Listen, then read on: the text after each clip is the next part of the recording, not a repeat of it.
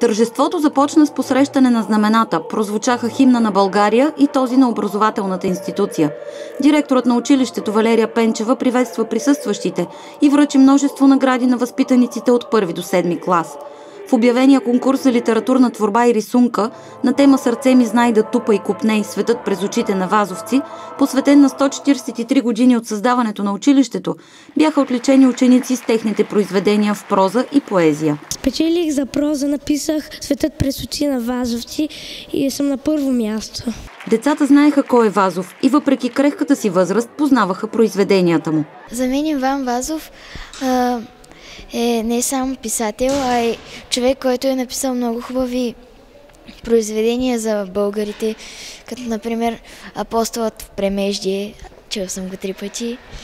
И, а, и, много, и даже неговото стихотворение се е превърнало в песен Аз съм българче. 706 ученици от първи до седми клас посещават основно училище Иван Вазов, както и 40 деца в предучилищна група. По думите на директорката госпожа Пенчева, учениците им са отлични и винаги успяват да се реализират.